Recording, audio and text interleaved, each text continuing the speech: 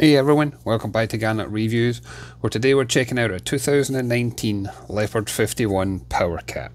At the time of shooting this video, this one was up for sale in Jacksonville, Florida with our good friends at Mark Zeigler Yacht Sales, and the asking price was $1,035,000. There's plenty of room on board with this one. She measures in at 51 foot in length, but she's got a beam of just over 25 feet, and she's got a maximum draft of just over 3 feet. There's very few of these boats available on the market today, and as you'll see this one's got an extremely high spec, but she's also got less than 230 hours on the clock and only around 160 hours on the generator. She's got a high freeboard that helps keep everybody feel safe and secure on board, but I love how easy it is to board this one from the extended bathing platform. And this extends out on both sides of the hull, so it doesn't matter if you come alongside to port or starboard, you'll still have easy access. And on the bathing platform itself, you see we've got that boarding ladder. That way, if you've been in swimming or diving, you get easy access to get on board. And as we step up, there's a large storage access area here. I'll show you the one on the other hull. Um, this one I couldn't get open because of the shore power cables. And between the hulls, I like the fact that we've got this rigid inflatable tender. She's sitting on a hydraulic platform, that way you can raise it up and you don't have to worry about towing it when you're underway, but it's also very easy to launch and retrieve whenever you want to use it. And this one's got a Honda 4-stroke 25 horsepower outboard.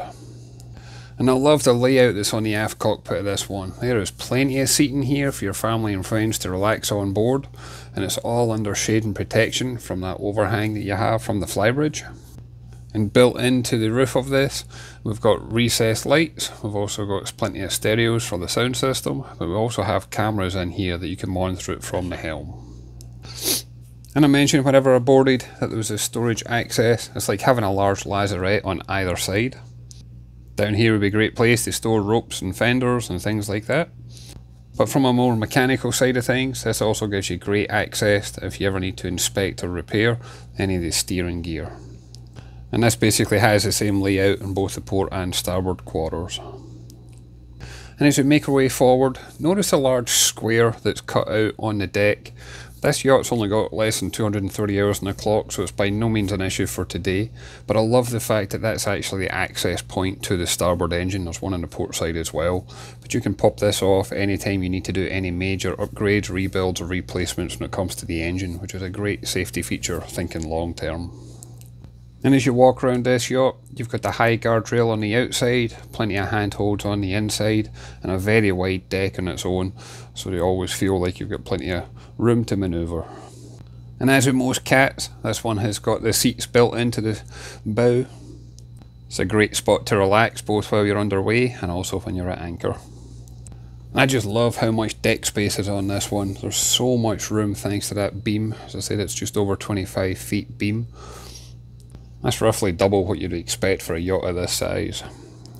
Now while you may be expecting the aft cockpit to have a seating area, this one's also got a cockpit in the bow. As I make my way down into that cockpit, you'll see we've got plenty of seating here. We've got pop-up cockpit tables, there's drinks holders, there's more storage underneath the seats on the starboard side. We've got a TV mounted on the bulkhead for entertainment. And then over on the port side you'll see we've got that Fusion stereo system. And then on the deck you'll see we've got three sections here which I'll open up for you. I also want to point out this deck's got a non-slip material to it and it definitely works. You never feel your feet slide while you're walking around here. But if I open up this middle section you'll see that this one is equipped with an electric windlass and this can be operated here on the bow but it can also be operated from the helm. Then if I open the section on the port hull, again this is like having a forward lazarette but this is where you're going to find a Northern Lights generator. As I mentioned, this has got around 160 hours on the clock. And you'll notice how clean and dry that generator is. It's virtually brand new. The entire yacht is virtually brand new. It's had so little use. And then if I open that storage section, which will be on the starboard hull, and this time you're going to see some of the tanks that we have on board. So for the entire yacht, you're looking at roughly 45 gallon holding tank, 207 gallon fresh water tank and roughly 400 gallons of fuel on board. The engines on board, they've got a great combination. You can reach speeds of around 25 knots and you've got a fast cruise of around 20 knots. But if you cut those throttles back to 7 knots, you're looking at around 1500 mile range. And normally whenever I'm doing these videos, I focus on the inside and then the flybridge, but in this one I want to do it in reverse, because I believe the flybridge is going to be the main focal point for this yacht. So again, we've got plenty of seating out in this aft cockpit, plenty of storage underneath the seats, stereo controls, large cockpit table to port, and it always feels like there's a handhold within easy reach. So if this was underway, especially in heavy weather, you're always going to feel like you've got something to grab onto. So getting up to the flybridge, I like how easy it is with these steps. It doesn't feel like you're climbing a ladder, which will make it far more accessible for all your family and friends. But check this out. When last did you see as much space up here for your family and friends to enjoy cruising with you while you're underway on the flybridge? And underneath most of the seats you see here, there's plenty of storage. The backrests have also got an option of folding down. You can have them forward facing, and rear facing, and you can turn them into sun pads. You get the benefit of this solid hardtop overhead, giving you shade and protection. And we've also got a grilling station up here as well. And we've even got a fridge up here, and that way you can have all your snacks and meals prepared on board without ever having to go back down. And then I also want to point out that there is actually canopy enclosures. I can show you the enclosure later on when we go downstairs. But this entire flybridge can be fully enclosed and that way you can pretty much cruise in any weather and not have to worry about wind and rain. And then for the helm, I like the fact there's as much space up here for more than one person. In my mind this would be perfect for husband and wife cruising. She is fully equipped with pretty much everything you could ever need. You, even this one's got bow thruster which you don't normally have on a cat. But we've got autopilot, we've got multifunction display, we've got speed log depth, VHF radio, full engine instrumentation. And that multifunction display, that's actually connected to several cameras on board. So you can use it as a, almost like a backup camera in your car whenever you're coming to dock in at the marina. And I also like the fact that from the helm you have got such great visibility. Whether that means while you're out at cruising or while you're doing your close quarter manoeuvres, you've got an unobstructed view practically from the helm. So despite this yacht being the size that it is, it still instills a lot of confidence that makes this a perfect choice for family cruising. Although this one's never been chartered, I also imagine this would be a great boat to enter into the charter market just because of how much space you have and how much comfort and luxury you have for your guests.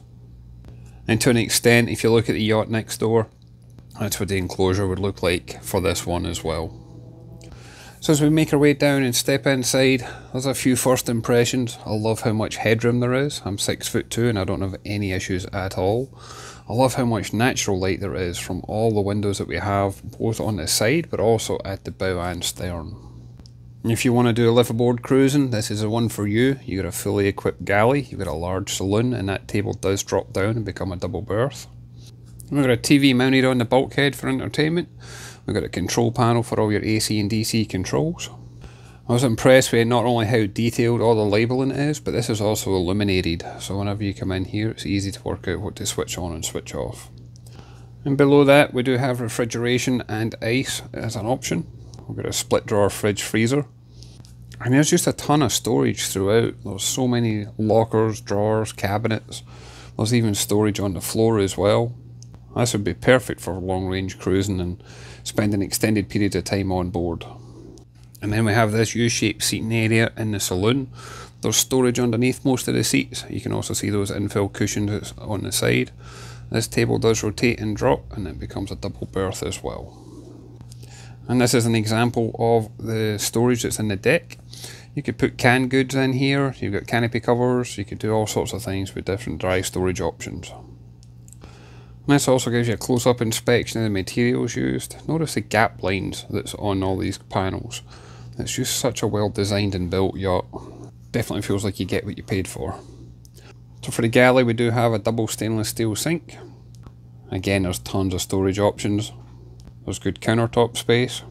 You've got a three burner stove top and then you've got the cooker oven underneath. And as I open some of these drawers and cabinets throughout, notice they've all got that push button lock mechanism. That way if the boat's underway, you don't need to worry about anything opening and falling out.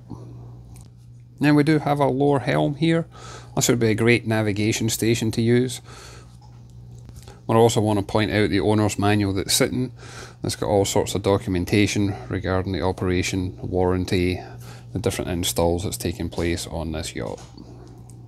And also like the fact you've got easy access to the bow cockpit area. Not only just so you can come in and out anytime you want to socialise with friends, grab refreshments or use the head, but it's also a great way to get out if you need to get to the bow in a hurry.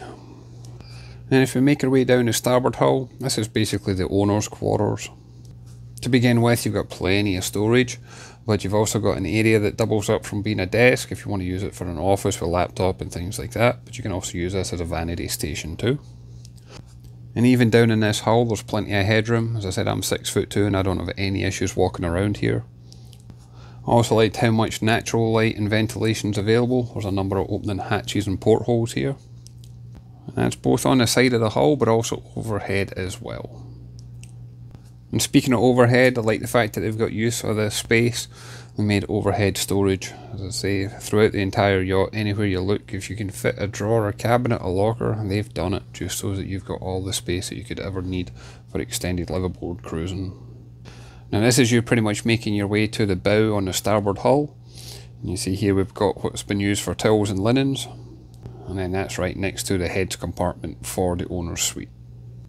And I like the fact that there's a separate compartment in here for the shower as to the toilet. And there's plenty of room in here where you can actually enjoy using that shower. And again, you can see this is a very bright and airy compartment. Plenty of natural light as well as artificial light. Plenty of ventilation if you need it. And as I make my way round to the aft cabin for the owner's stateroom, you can again see there's plenty of compartments on the deck. Not only do these double up as storage, but it also gives you access to the bilges should you ever need to. And as I make my way aft, you'll see there's a sliding door, so you can block up this basically entire hull, and that way you just make it into one large owner's suite. But once you make it into the aft cabin, you can see we've got a very large double berth Again, there's plenty of storage in here. There's plenty of natural light. But it's actually underneath this berth that you're going to find a starboard engine. And this has got an electronic hatch where at push of a button, and this raises up. And underneath, you'll see we've got a Yanmar. This is an 8LV370. She's got approximately 370 horsepower. And as I mentioned earlier, she's got around 230 hours on the clock. And as you'd expect with such low hours, look at how clean this engine is. It looks like brand new. Even all the stickers are perfectly intact. Easy access to all your filters, your fuel and water separator. And look at how much insulation is in this. I doubt you'd even know the engine's running practically while it was going, even if you were laying on this bed. As I pan the camera around, there's multiple air conditioning units throughout the yacht. I believe there's three in total but there's multiple for each section on board. And if I make my way across and go down the port hull, this yacht's got a three cabin layout. And this is me heading aft on the port hull. And again, as you'd expect, there's another engine underneath the bed here. It's all electronic access. Push of a button, this raises up. And again, you can see just how clean and well maintained those engines really are. Yanmar is also a good choice where it's normally easy to get engine spares as well as get technicians. So if you are looking at doing some extended cruising, you should always have resources available no matter where you go. And as well as having over-the-top access for the engine, on both the engines, the front compartment that you see here you can also have access to as well. So if you need to do anything at the front of the engine, you've got the ability to do so. And again, this stateroom, you've got plenty of access to natural light and ventilation, both on the side of the hull and overhead. And the overhead hatches have got those blinds where you can have it shut off, but you can also have like a mesh screen so you can open the hatch and not have to worry about bugs or leaves or anything like that coming in. And this stateroom does have a large TV mounted on the bulkhead for entertainment. Plenty of storage lockers, drawers and cabinets. We've got the guest heads compartment, and although it's smaller than the owner's suite, again it's still got a separate toilet and shower compartment, which I think is always beneficial on a yacht. I like the fact there's as much room in the shower where your guests can actually use it. Some of the yachts I've been on, they might say they come with a guest shower, but you can never actually use that. I also like the fact that there's as much quality comfort and luxury for both your guests and the owner. And that way they can relax on board with you. And this is you basically making your way to the bow on the port hull. And again, you've got another heads compartment. So you've got three cabins and three heads. And they all share a very similar design. and all finished to a very high standard. As I make my way into the cabin on the bow, you can see all the canopy covers that I had mentioned. This is where they're currently temporarily being stored. Now this cabin's got a little bit of a strange layout because it's got a double berth, but there's also a single berth forward of that, so there's actually three berths in here. There's storage underneath the beds themselves, and again there's plenty of storage throughout the cabin. And I'd like to thank Mark Zeigler for allowing me the opportunity to come on board, take a look at this one and share the video with you. As always, I'd love to hear your thoughts and comments. If you haven't done so already, if you can please leave a comment down below. If you can hit that like and subscribe button, really does make a difference. And I look forward to catching you on the next one. Thanks everyone.